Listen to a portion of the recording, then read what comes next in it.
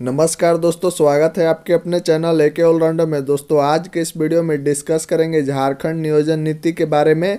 इसके अलावा आज के इस वीडियो में डिस्कस करेंगे कि नियोजन नीति में आखिर क्या कुछ बड़ा बदलाव हो रहा है। इसके अलावा आज के इस वीडियो में डिस्कस करेंगे कि आखिर इलेवेंथ जे कब तक आने की संभावना है। इसके अलावा आज के इस वीडियो में डिस्कस करेंगे कि एजेंसी के चयन में क्या है देरी। इसके अलावा आज के इस वीडियो में डिस्कस करेंगे कि J S S CGL, Jharkhand police, दरोगा इलेवन, जेपीएससी समेत सभी भर्ती प्रक्रिया में आखिर क्या है देरी, इसके बारे में डिटेल में डिस्कस करेंगे। तो चलिए स्टार्ट करते हैं। फ्रेंड्स, स्टार्ट करने से पहले अगर आप हमारे चैनल पर नए हैं, चैनल को सब्सक्राइब कर लेंगे, बेल आइकन को प्रेस कर लेंगे। तो चलिए स्टार्ट करते हैं। आप इस वीडियो के एंड तक बने रहेंगे और ध्यान से एक एक पॉइंट को समझने का प्रयास करेंगे। तो चलिए स्टार्ट करते हैं। सबसे पहले डिस्कस करते हैं एजेंसी के बारे में। आपको बता दें कि जे यानी कि झारखंड स्टाफ सिलेक्शन कमीशन के द्वारा एक इम्पोर्टेंट नोटिस जारी किया गया था 17 जनवरी 2023 को। आप देख सकते हैं।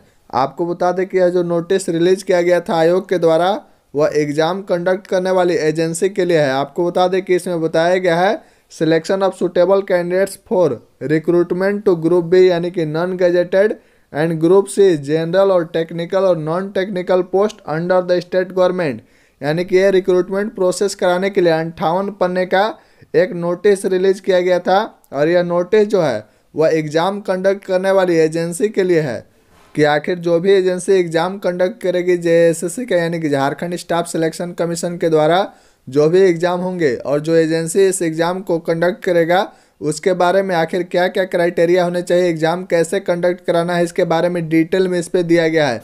चलिए बारी बारी से डिस्कस करते हैं जो मोस्ट इम्पोर्टेंट पॉइंट है। आपको बता दें कि इसके लिए इम्पोर्टेंट डेट जो है वह रिलीज़ किया गया। आप देख सकते हैं कि कब क्या करना है। चलिए नेक्स्ट बात करते हैं।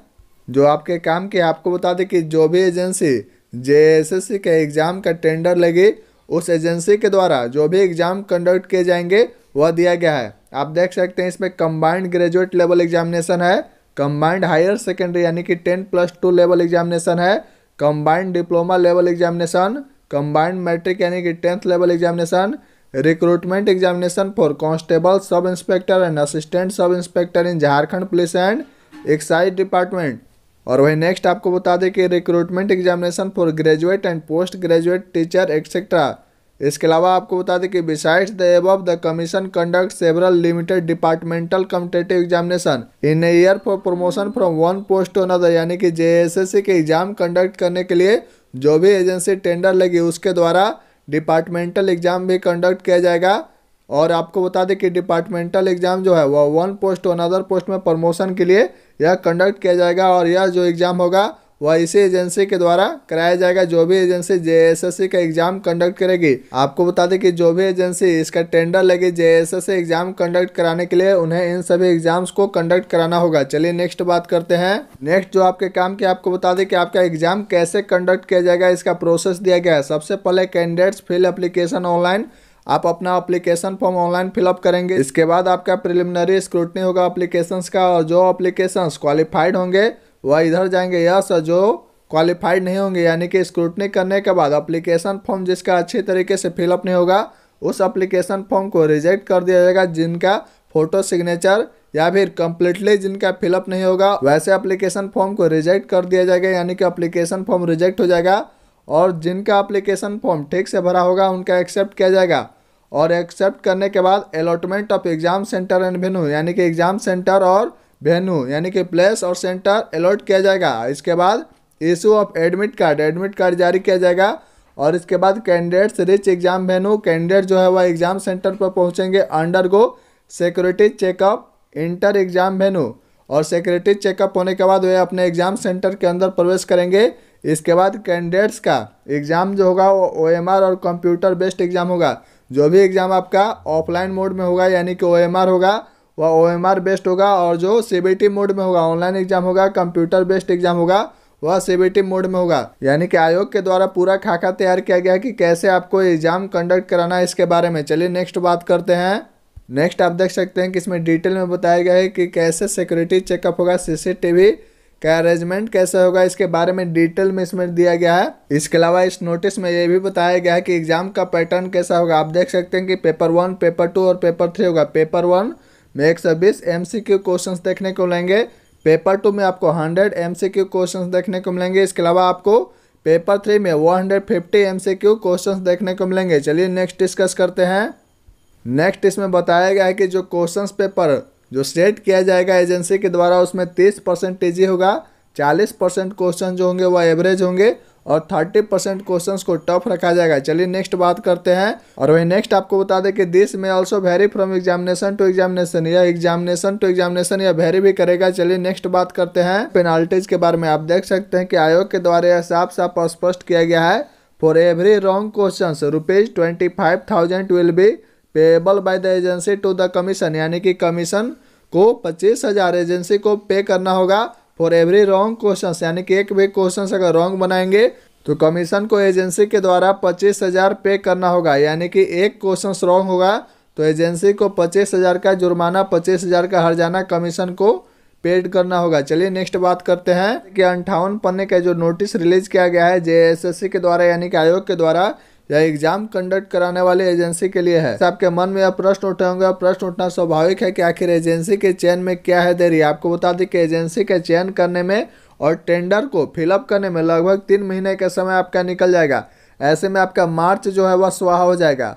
एजेंसी के चयन में यानी कि टेंडर प्रक्रिया फिलअप होने में आपका मार्च तक का समय खत्म हो जाएगा। चलिए नेक्स्ट बात करते हैं कि आखिर नियोजन नीति बनकर लगभग तैयार हो चुका है भाषा पेपर में। आखिर क्या बदलाव किया गया? आपको बता दें कि नियोजन नीति में टेंथ और ट्वेल्व का जो क्राइटेरिया झारखंड से रखा गया था, टेंथ और ट्वेल्व का क्राइटेरिया जो झारखंड राज्य से रखा गया था, इसे हटा दिया गया है। इसके अलावा आपको बता दें कि पेपर टू में, पेपर टू में हिंदी और इंग्लिश को ऐड किया गया है। पेपर टू में हिंदी और इंग्लिश को ऐड किया गया है। इसके अलावा जो भी लैंग्वेज थे लोकल लैंग्वेज जो थे, झारखंड राज्य के जो खोटा नागपुरी, उसमें किसी प्रकार का कोई छेड़छाड़ नहीं किया गया है। आपको एक बार फिर से स्पष्ट कर देना चाहते हैं कि पेपर टू में हिंदी और इंग्लिश लैंग्वेज को ऐड किया गया है और टेन ट्वेल्व के क्राइटेरिया को जो नई नियोजन नीति जो संशोधन करके तैयार किया जा रहा है, उसमें टेन ट्वेल्व के क्राइटेरिया जो झारखंड राज्य से था, इसे हटा दिया गया है। आशा पेपर में बड़ा बदलाव हुआ है। पेपर टू में हिंदी और इंग्लिश को ऐड किया गया है। इसके अलावा आपके सभी सिलेबस सेम है। आपको बता दें कि नियोजन नीति लगभग बनकर तैयार है, कभी भी पब्लिश हो सकती है। इसके अलावा आपको बता दें कि जब नई नियोजन नीति पब्लिश होगी, इसके बाद फिर से फॉर्म को फिलअप करने का और एडिट करने का ऑप्शंस मिलेगा, जिन्हें अपना लैंग्वेज को, यानी कि पेपर टू के लैंग्वेज को चेंज करना है, जिन्हें हिंदी सेलेक्ट करना है, हिंदी ऑप्ट करना है, वे हिंदी लेंगे इसके अलावा जो टेंथ और ट्वेल्थ की पढ़ाई झारखंड राज्य के बाहर से किए हैं उन्हें मौका दिया जाएगा फिर से फॉर्म फिलअप करने का। और इसके अलावा जिन्हें अपना लैंग्वेज बदलना है, पेपर टू में जिन्हें अपना लैंग्वेज चेंज करना है, जिन्हें हिंदी सेलेक्ट करना है, उन्हें भी मौका दिया जाएगा। और पेपर वन का, पेपर टू का, पेपर थ्री का, सभी का एग्ज़ाम पैटर्न सिलेबस सभी सेम होगा। आपको बता दें कि आपका पेपर टू में हिंदी और इंग्लिश को ऐड किया जा रहा है। और वहीं आपको बता दें कि टेन ट्वेल्व के क्राइटेरिया को खत्म किया जा रहा है। सूत्रों के हवाले से यही खबर निकल कर रही है। वहीं आपको बता दें कि ये सभी प्रक्रिया को पूरा करने में आपका अप्रैल से मई 2023 जो है, वह खत्म होने वाला है। अप्रैल से मई 2023 से पहले ये सभी कंप्लीट नहीं होने वाला है। चलिए नेक्स्ट बात करते हैं कि आखिर इलेवेंथ जेपीएससी कब तक आने की संभावना है। आप देख सकते हैं कि जेपीएससी के द्वारा टेंटेटिव कैलेंडर रिलीज़ किया गया है फॉर द ईयर 2023 आप देख सकते हैं कि इसमें इलेवन जेपीएससी का कहीं भी ज़िक्र नहीं किया गया है और यह जो टेंटेटिव कैलेंडर रिलीज़ किया गया है, वह सत्रह जनवरी 2023 से लेकर जो भी एग्ज़ाम इसमें कंडक्ट होंगे, वह 28 मार्च 2023 तक का दिया गया है। इसका मतलब है कि आपका जो इलेवेंथ जेपीएससी का नोटिफिकेशन जो रिलीज़ होगा, वह मार्च के बाद यानी कि अप्रैल 2023 में रिलीज़ होने की संभावना है। इलेवेंथ जेपीएससी अप्रैल 2023 में रिलीज़ होने की संभावना है। चलिए नेक्स्ट बात करते हैं। नेक्स्ट आपको बता दें कि इससे ये तो साफ़ हो गया है कि J S S CGL Jharkhand police, दरोगा इलेवेंथ जेपीएससी समेत सभी भर्ती प्रक्रिया में हो सकती है देरी। इसके अलावा नियोजन नीति में भी अभी समय लगेगा। इसे रिलीज़ होने में, इसके अलावा फॉर्म को एडिट होने में और फिर से सबमिट होने में एजेंसी के चयन में भी देरी हो सकती है। यानी कि अप्रैल से पहले कुछ भी संभव नहीं है यहाँ पे। अप्रैल से पहले कोई भी एग्ज़ाम झारखंड में नहीं होने जा रहा है। ऐसे में अब आपको क्या करना है? इसके बारे में डिस्कस करते हैं। आप देख सकते हैं कि आयोग के द्वारा यानी कि स्टाफ सिलेक्शन कमीशन के द्वारा टेंटेटिव कैलेंडर रिलीज़ किया गया है फॉर द ईयर 2023-24 के लिए। आप देख सकते हैं कि एसएससी के द्वारा जो भी एग्ज़ाम कंडक्ट किया जाएगा, उसका नोटिफिकेशन कब रिलीज़ होगा, कब से ऑनलाइन होगा, ऑनलाइन का क्लोजिंग डेट क्या है और डेट ऑफ़ टेंटेटिव एग्ज़ाम क्या है, सभी इसमें दिया गया है। आप देख सकते हैं। यानी कि टेंटेटिव कैलेंडर आयोग के द्वारा एसएससी के द्वारा रिलीज़ किया गया है। आप देख सकते हैं, इसका पीडीएफ आपको टेलीग्राम चैनल पर भी प्रोवाइड कर दिया गया है। आप वहाँ से भी जाकर देख सकते हैं। इसके अलावा आपको बता दें कि tentative calendar for the year 2023 to 2024 RRB IBPS और आईबीपीएस का टेंटेटिव कैलेंडर रिलीज़ किया गया है। For the post of office assistant और officer scale one officer scale two officer scale three इसके अलावा आपको बता दें कि क्लर्क और पीओ स्पेशलिस्ट ऑफिसर का भी रिलीज़ किया गया है। आप देख सकते हैं कि यह बैंक का टेंटेटिव कैलेंडर रिलीज़ किया गया। और वहीं नेक्स्ट आपको बता दें कि बैंक और एसएससी का फॉर द ईयर 2023-24 के लिए एग्ज़ाम कैलेंडर रिलीज़ कर दिया गया है। कौन सा एग्ज़ाम कब होगा और आपका अप्लीकेशन फॉर्म कब फिलअप होगा, उसका लास्ट डेट कब है, सारा उसमें दिया हुआ है। इसके अलावा आपको बता दें कि इंडियन रेलवे का भी approx 1.5 lakh additional new recruitment जो है, वह अंडर प्रोसेस है। और 2023-24 में इंडियन रेलवे में लगभग डेढ़ लाख पोस्ट पे वैकेंसी रिलीज़ होगा, इसलिए आप हाथ पे हाथ धरे नहीं बैठे रहेंगे। सिर्फ़ झारखंड के भरोसे नहीं बैठे रहेंगे। झारखंड की भी तैयारी आप साइड से करते रहेंगे, लेकिन फ़र्स्ट प्रायोरिटी आप सेंट्रल लेवल वैकेंसीज को ही दें। ध्यान देंगे, एसएससी, बैंक और रेलवे अपना अपना कैलेंडर रिलीज़ कर दिया गया है।